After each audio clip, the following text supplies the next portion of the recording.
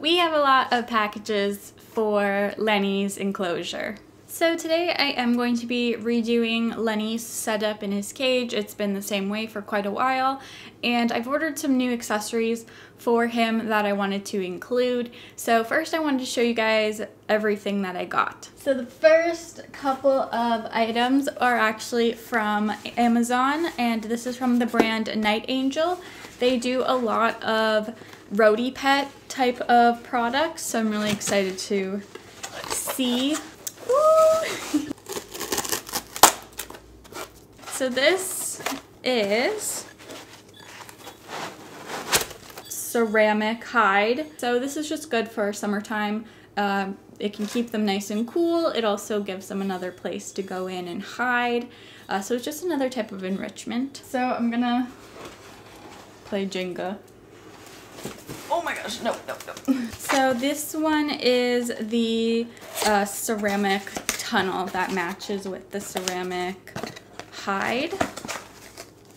And this is Syrian size. I think they make a dwarf size as well. Ta-da! Look at this! So you can have this kind of connected, that noise though, you can have them connected sort of like this um, inside the enclosure. The next thing from NiteAngel that I got uh, is this. So it looks like, oh my gosh. So it looks like this. it has their logo right there and it has an opening there, an opening there, but you put this on uh, the inside up against like glass or something and that way you can actually see inside these holes so it's a little bit of a fun way to still be able to see your hamster but give them the feeling of privacy um, and yeah the next package actually was sent to me by the lovely Bethany's Animals on Instagram. She has her own shop for hamster packages and she was kind enough to send me one. She has a bunch of different themes um, I think this theme actually is the Boredom Breaker theme, which I thought was a really cute idea. So there's some really pretty pink paper and first is a Rosewood Boredom Breaker, the Woody's Fruity Roller. So this is just a little watermelon fruit roller.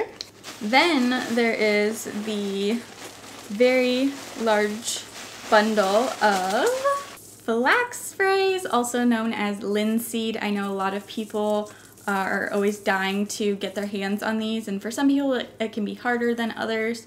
So if you're looking for somebody who sells it, Pearly's Packages does. The next thing inside of the package is uh, a bundle of millet spray, which is also awesome and a good foraging for hamsters. As well as she includes four little willow balls in which you can stuff with some black sunflower seeds and it makes a really great boredom breaker because the hamster has to try to break open these little wicker balls to get the little treats. So that is everything inside of that parcel. She has many other ones to choose from, so I'll leave her link in the description bar in case you want to go check her shop out. And the last package I got is from an Etsy seller. Uh, her brand is Fat Pouches. She has a really super cute hamster sticker on the box. I have to show you guys it.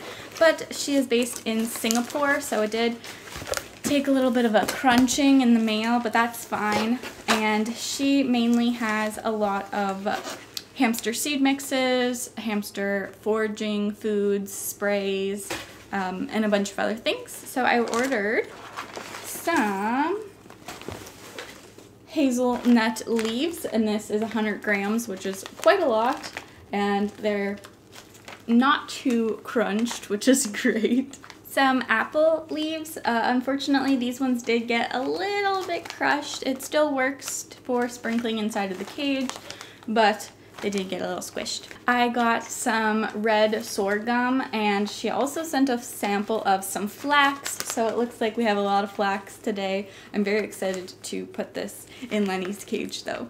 And the last thing I'm really excited about is I got uh, some sunflower heads. So this is a sunflower head cracked in half and this contains uh, black sunflower seeds and this allows your hamster to just pick them right off the head.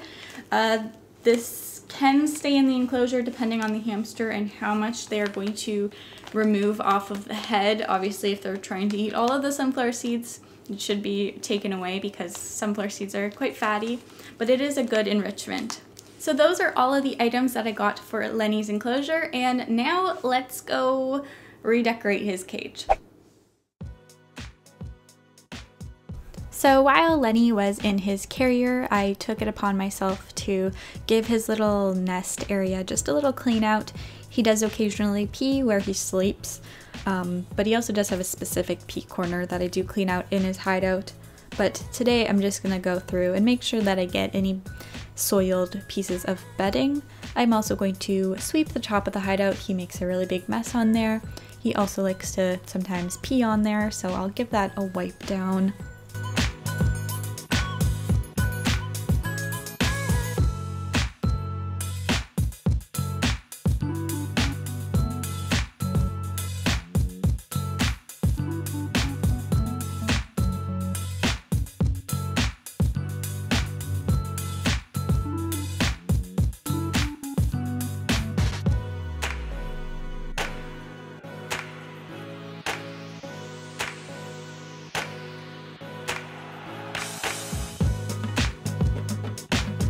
I'm also just going to pick out any soiled substrate that I see around the cage, any pieces that are like debris, I'm just going to remove that. And I'm going to be re-adding in some more Kaytee Clean and Cozy bedding just to replenish what I took away and also to give a little bit more bedding depth.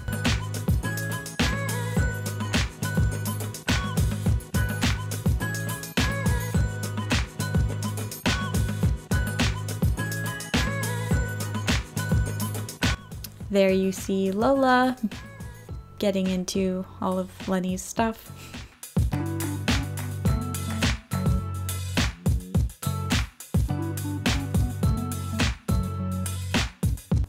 Also wanted to talk about why Lenny doesn't have a sand bath in his enclosure. A sand bath is something that I recommend every hamster owner have in their enclosure. It's really important for a hamster. It provides them with enrichment, so it is necessary. But the reason Lenny doesn't have one is because Lenny has issues with his peen. It does not retract, it is constantly sticking out. And that makes it easy for things to get on it and infect it and possibly scratch it, cause it to swell. So, because of that, he does not get a sand bath because I don't want to risk him getting sand on his wiener.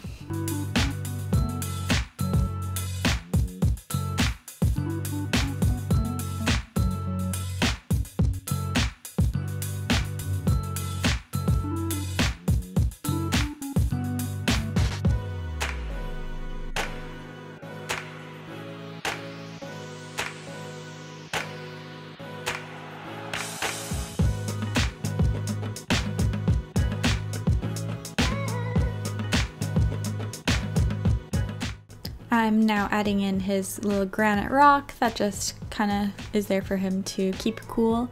I'm also going to add in some of his favorite chews he likes to chew on. Then I'm adding some of the hazelnut leaves.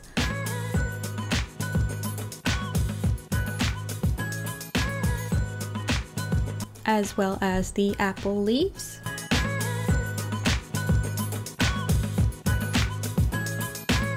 And we cannot forget our good old herbs.